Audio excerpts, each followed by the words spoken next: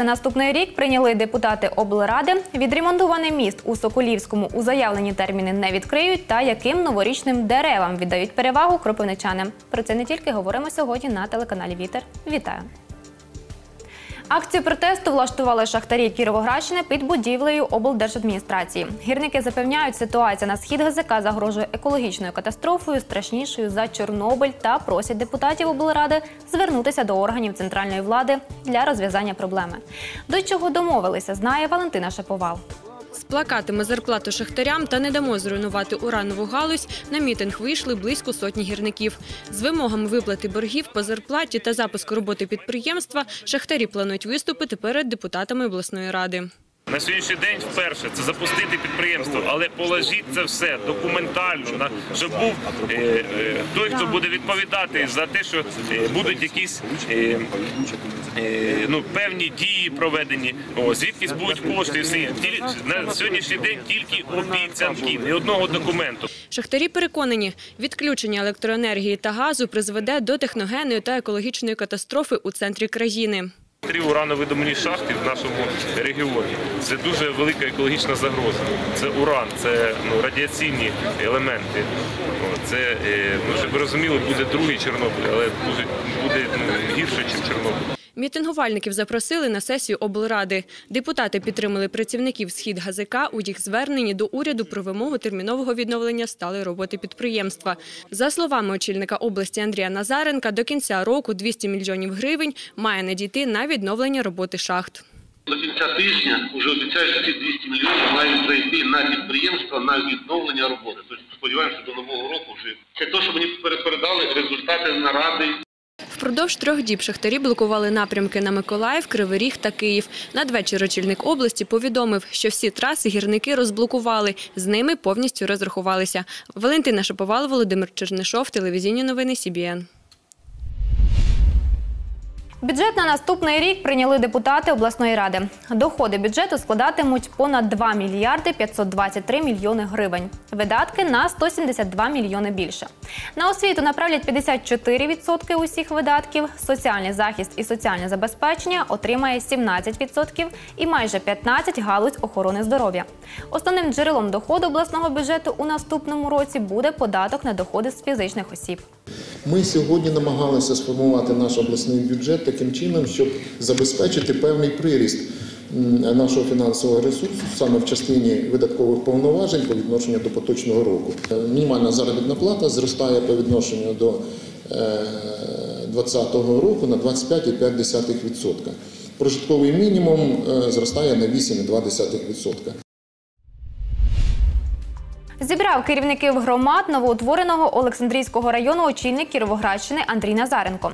Це третя виїзна нарада, присвячена переформатуванню області. Як зберегти отримані у власність об'єкти, які будуть фінансові стосунки, ці та інші питання цікавили голів громад. Більше у сюжеті Марії Тарасенко.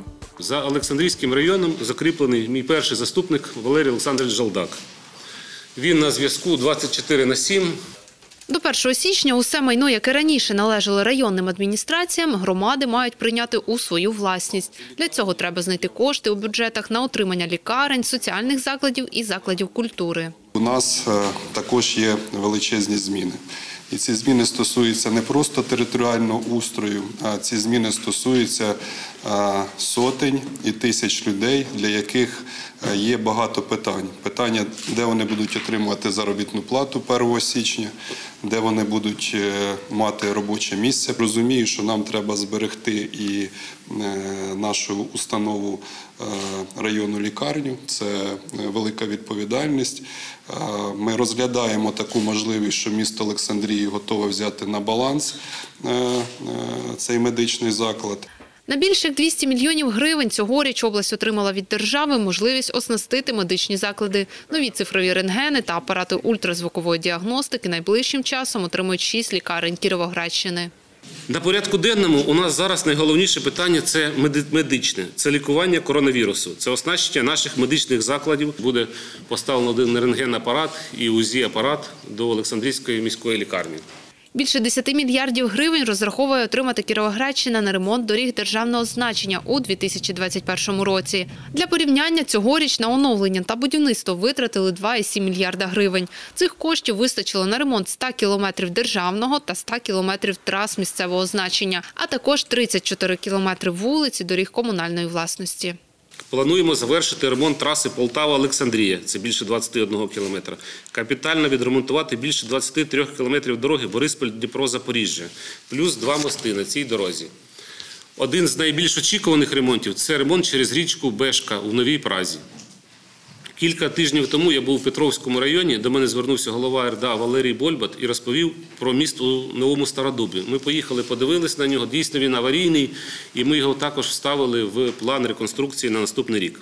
Серед основних завдань керівників громад є створення підрозділів місцевої пожежної охорони. З 11 необхідних наразі функціонують 5. Одна пожежна служба має покривати радіус прибуття на виклик до 20 хвилин. Аби дотримуватися вимог в Олександрійському районі варто створити ще 6 підрозділів.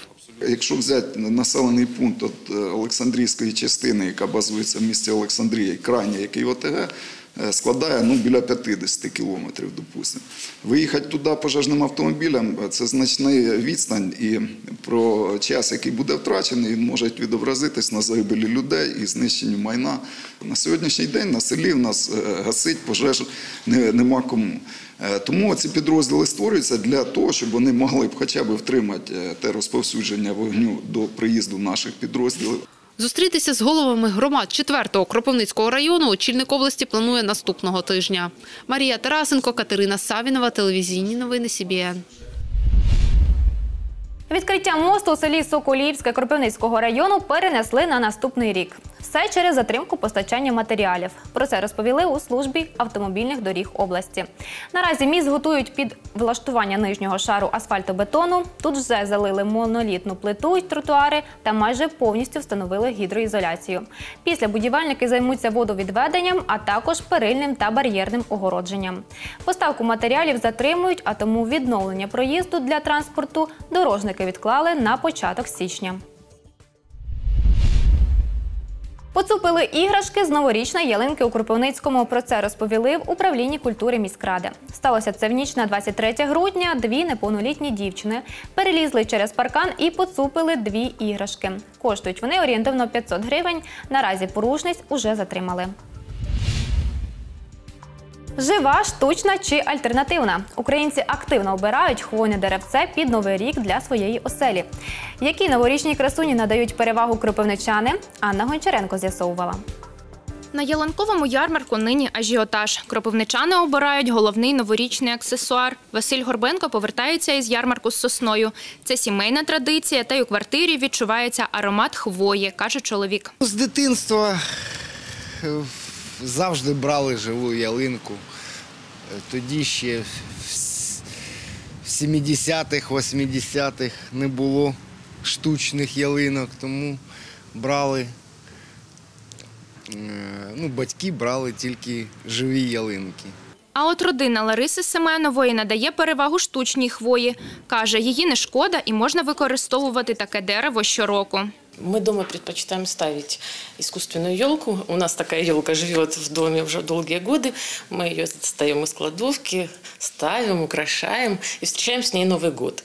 А потом уже после праздников аккуратно ее убираем до следующего Нового Нового года. Живых зеленых красавиц мне очень жаль. Э, Дерево умирает, что в этом может быть веселого? Штучні ялинки довго зберігаються, не осипаються та не мають запаху, тому є безпечними для алергіків, кажуть у Держпродспоживслужбі. Втім, не всі штучні дерева безпечні. Іноді саме вони завдають шкоду навколишньому середовищу. Якщо ялинка йде нова і вона якісна, то вона буде безпечною. Якщо ж вона дешева або виготовлена більше там 10 років тому назад, то звісно вона буде шкідливою. Вона буде виділяти токсичні речовини, які людина буде вдихати і може викликати алергічну реакцію. Також штучну ялинку ні в якому разі не можна спалювати. Для вирощування саме новорічних красунь в області виділені спеціальні плантації. Ялини та сосни вирощують під зруб, а хвойні насадження поповнюють щороку.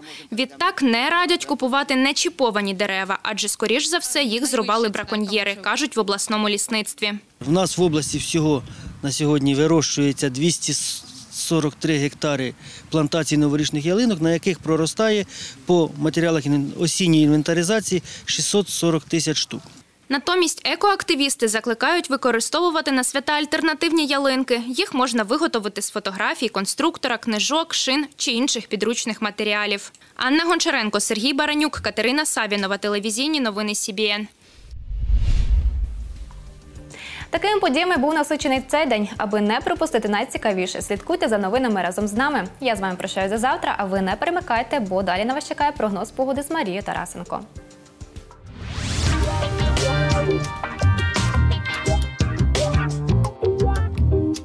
Вітаю в ефірі прогноз погоди. 24 грудня синоптики обіцяють хмарну погоду та опади. Поступове потепління легко перетворюватиме сніг у дощ. Будьте готові до налипання мокрого снігу та ожеледі. Вночі та вранці туман. Вітер південно-східний зі швидкістю 7-12 метрів на секунду. По області в день температура повітря становитиме від 1 градусу морозу до 4 градусів вище нуля. Вночі від мінус 4 до 1 градусу тепла. У Кропивницькому температура повітря в день коливатиметься від 0 до 2 градусів тепла, вночі від 0 до 2 градусів морозу. Радіаційний фон по місту становить 13 мікрорентген на годину. Погода складна і для водіїв, і для пішоходів, і для комунальників, і для тих, хто реагує на зміну повітряних мас. Тим паче, що завтра ще й прогнозують магнітні бурі. Бережіть себе і залишайтесь з нами на телеканалі Вітер.